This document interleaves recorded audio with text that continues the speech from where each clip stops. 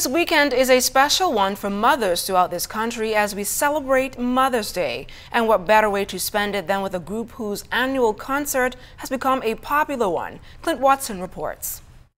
James, William, Clarence, Bennett, Prince, and Chris.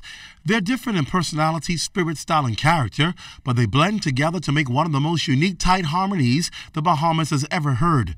The Rahming Brothers have become synonymous with Mother's Day through their annual concerts. They stopped by our ZNS Studios Friday with Daryl Miller to talk about the secret behind their success. William Rahming says their togetherness is so real, not even politics could separate them. We still one even if even if one of y'all vote different from the other one. We would hardly know. you ain't even talking. No, no, we don't talk about that. We still happy and one family yeah. all the time. Nothing right. can separate us. Amen. Nothing.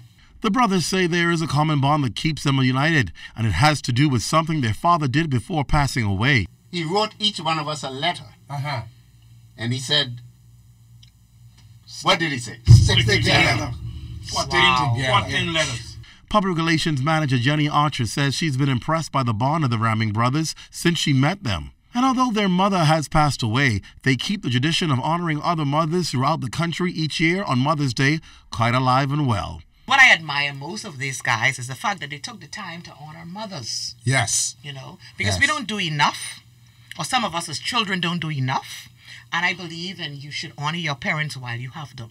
On Sunday, the concert will be held at Evangelistic Temple, Collins Avenue, beginning at 7 p.m. Tickets can be purchased locally or at the door.